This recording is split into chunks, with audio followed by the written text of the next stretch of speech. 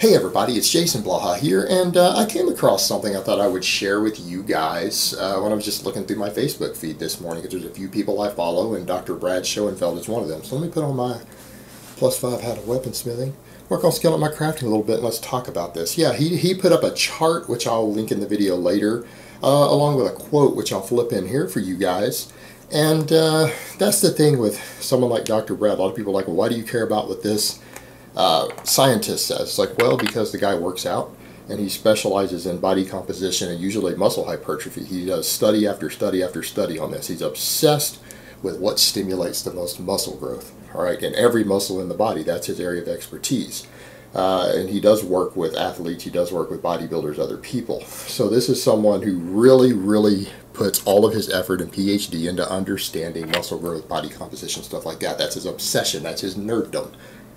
Uh, and so, you know, he's someone who's in the field doing that. So his take on this stuff is always worth seeing. Okay, and he also does write a lot of material for uh, continuing education for personal trainer certificates and stuff like that. He's one of the guys trying to actually get all these trainers to understand how stuff really works. Makes him one of the good guys out there, honestly. I don't necessarily agree with all of his findings. I agree with what he's saying oftentimes, but the thing is, sometimes his conclusions aren't necessary for all people, and that's kind of the point. Uh, now, he was talking a little bit about fat loss and different diets, and he linked a little chart. And what he was saying in his uh, quote there, for those who read it, is that, you know, a lot of people worry about low carb versus low fat, which one seems to work. And he points out, you know, it seems to be very, very clear that there's no metabolic advantage based on the studies. Most studies favor low fat diets seem to usually give better fat loss in the vast majority of studies. You get a few exceptions uh, but there's different variables in play. Um, but generally, if there's going to be a metabolic advantage, it seems to be towards higher carb and lower fat. Although it's so small, that's what he points out, it's so small that it probably isn't that big of a deal. All right, it's there, but it's pretty minor in the grand scheme of things. But that is where the metabolic advantage lays, meaning if you ate equal calories, you would probably lose fat slightly faster, slightly faster on a uh, higher carb, lower fat diet than you would on the reverse, on the high fat, low carb diet, like a ketogenic diet. Okay, what he notes, what he notes is that obviously higher protein intake does always seem to be the best, meaning people generally lose the most fat and retain the most muscle, so they end up with the best body composition when protein is kept relatively high. Now, what he points out in there is that people need to understand, and this is something people need to grasp in the fitness community. What he's talking about, very high protein, is probably lower than a lot of you think because people have been so misled by the bodybuilding world, the supplement industry, everything that they're honestly thinking, whoa, high protein, that must mean like 300 grams a day. No, he says high protein, which is again what he recommends. This is higher than, um, you know, is recommended to the average person. The average person out there doesn't need anywhere near this much protein even to gain muscle. But he's talking about for ideal fat loss, eating around 2 grams per kilogram of body weight. So how much is that? Let's say you weigh 220 pounds. That's about 200 grams of protein. Because 220 pounds is 100 kilos. 2 times 100 is 200. All right, that's what we're talking about. For a pretty good sized person, a little over 200 pounds, 200 grams of protein. That's still less than the often recommended one gram per pound of body weight out there in the bodybuilding world, okay? It's still slightly less than that. It's about 10% less than that. But that is a very high protein intake. So people misunderstand these things. When someone says high protein, a much higher protein diet, and that falls well within what I tell people. 1.6 to 2 grams of protein per kilogram of body weight is what most of the top experts recommend for athletes athletes who are trying to lose fat while holding onto their muscle. Okay, and he's uh, recommending basically the upper threshold of that, the upper end of that. Why? It preserves muscle and it has good satiety. People who consume heavier amounts of protein up in that sort of range, and again, that's not 1.5 grams per pound of body weight and stuff. You know, you were to do what a lot of these people will tell you to do out there, a lot of bodybuilders are calling higher protein, would be something like 330, 340 grams, not 200 for someone of that same weight.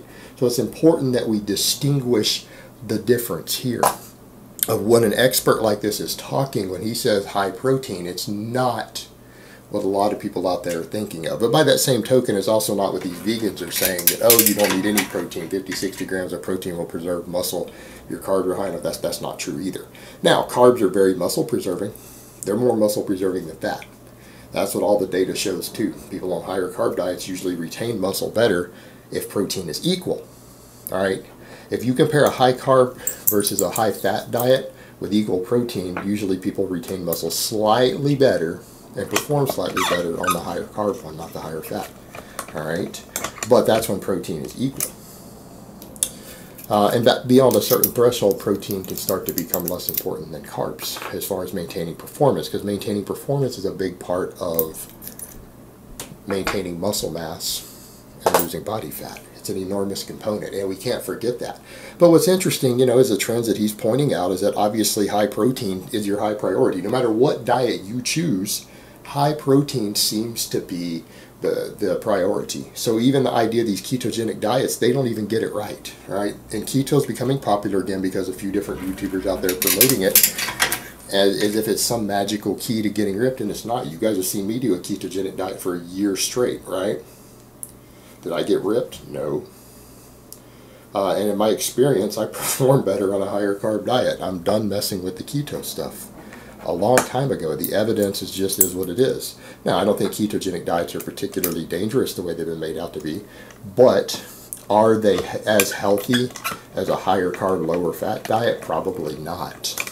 And that's what we've got to factor in. All right, if you've got a diet that causes you to lose slightly less body fat when all things are equal, and doesn't give you quite as pretty and healthy a blood work as a different type of diet, you really got to rethink that. Is this really what we need to be doing in the fitness world? Is this what we need to be promoting? Probably not. Probably not.